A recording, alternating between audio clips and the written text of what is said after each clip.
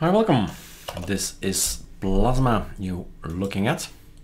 And the topic of the video is the stuff we get on Seedhost, on SourceForge, because yes, the release of ArcoLinux 20.1 is a fact.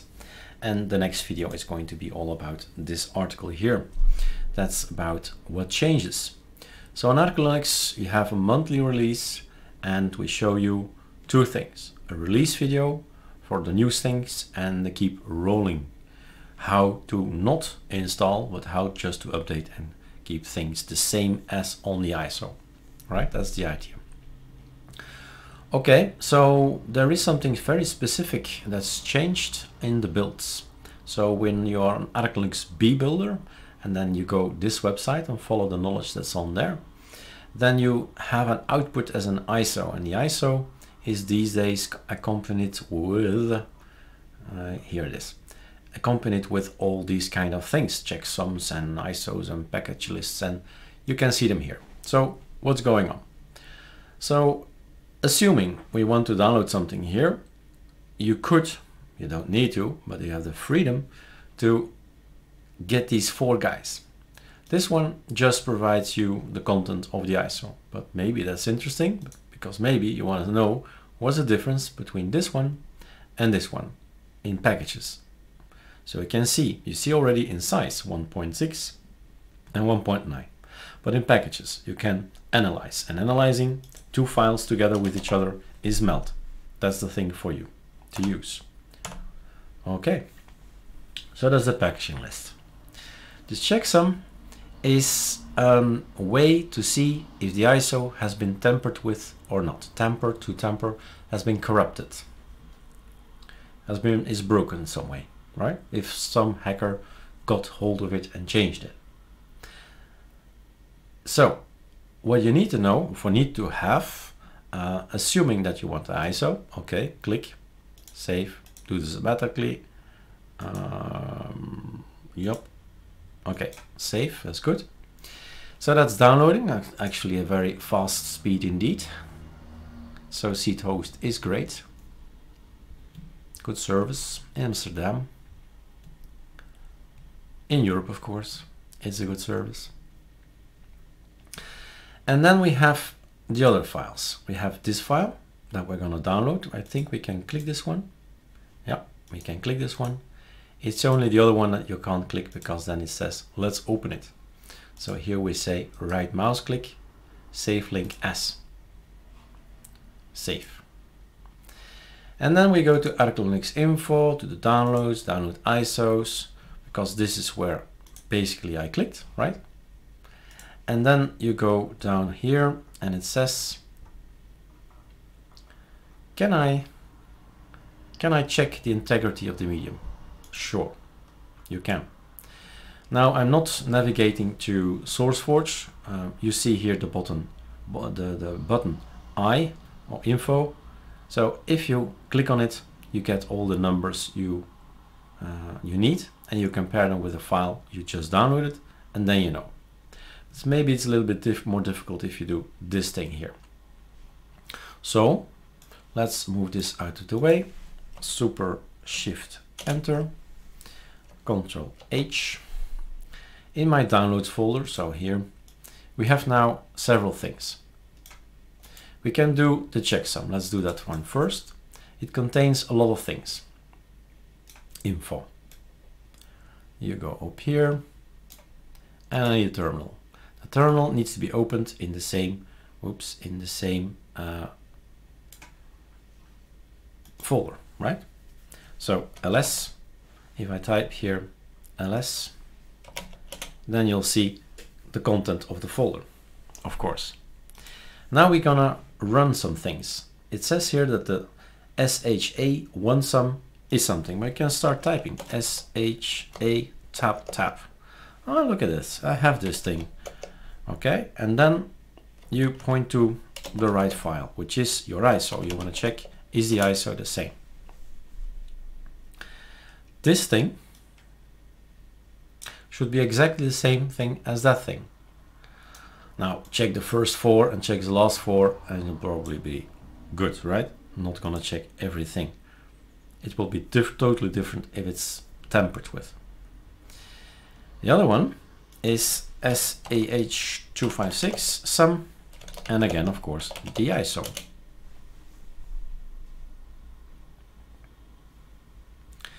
Seven three five eight.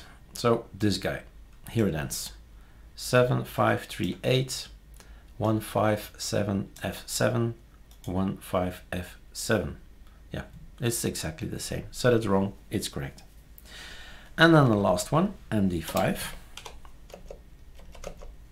SUM is for Arch Linux ISO, obviously, and it should end in 8D72, 8D72. So, and the first four are correct as well. So everything in between will probably be good as well. You check it out, it is. So that's a way to see is the medium that's online. That I have I have the ISO on my PC. It goes online on SeedHost, on SourceForge. It gets there again checked. And again, you check it on your system. So it can't go wrong. Okay, it's the exact same ISO that I have, that you have. And that's the point of all the exercises, that we have the same ISO. And then uh, the last thing let's go back to here. How to verify GPG key of official ISOs is a little bit more complicated. Some things to copy paste and then it's okay, right? Let's get rid of this. I don't need this anymore, so this can move over here. It means you need to check, we're talking about this file. This file is this this one actually has been signed and has given has uh, received a different kind of file. Let's open it. Let's show so we see what it is. Okay, we get this gibberish, but not for GNU PG, right? So that's not going to be gibberish. So GPG. First of all, we need to import the key, and that is a problem in the sense of firewalls, countries blocking ports and things like that, right? Also internet service providers where you get your internet, that guy who blocks things. But anyway, try with this one and that's my key. So Control C, Control Shift V. Try to get it in. I deleted my GNU PG directory, so it has been created again. And I, I myself have problems. You see, server indicated a failure. I know, it's uh, my internet service provider. I do it with this link with HKPS and then 44, uh, 443, so the port number, Control C, Control Shift V. Then my system normally knows, huh, there is. So he went to the internet, so it's not locally, it went to the internet somewhere, found the name, found the key, says that's the key, that's when it was created, and then it's gonna expire, and it's number one. Do you want to have it? Yes, no, next, quit. So enter number, yes, one. So you get in the key of Erik. So I have signed the ISO. You know now my key. Now you can check if it's correct. Now you check this thing. At this point in time, of course, the numbers are the same eh? at 20.1.4 but next in February next ISO it will be 20.2 and you change the number so control shift V you say GPG verify me this SIG thing that we have downloaded here okay and it's gonna compare and don't mind this thing, these two lines is not important. The thing is that it says good signature. That's important. If you just um, try it with another file, if you mixed mix these things up and you compare the SIG with ArcoLinux so that's not the same, then you get bad signature. So that's the thing. You need to get this line here, good signature, and again, you see that it's from Erik and it's signed from Erik. So if you see this, then it's okay, right? Good. This is something else. This is not important for us. All right, that's it for me. Um, if, if, if, if, if, let's make this bigger. If you still do not get past your country blocks and, and internet server problems and firewalls and whatever, then the ArcoLinux people can also do this. The ArcoLinux key is also on your own system. We've put it there. All you have to do is Control Shift V. Let's um, clean it up. I'm gonna clean Control H. I'm gonna get rid of the key that I just imported in GNU PG. We have here all the information is gone. I delete it again. So you see what the import does. Okay, so I'm importing it again. And it says, okay, Erik is here.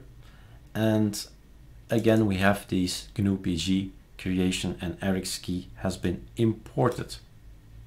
And again, arrow up, arrow up, I can verify. You get the same message, of course, good signature from Erik Dubois. That's all you need to know. And it's mine, you know, this ISO comes from me.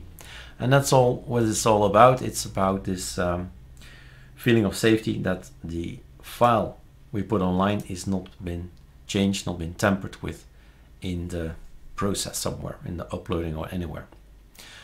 Okay, that's it for me. Uh, enjoy Arco Linux and um, soon I'll put out the video about the release article, the new stuff that's available in the 20.1 edition.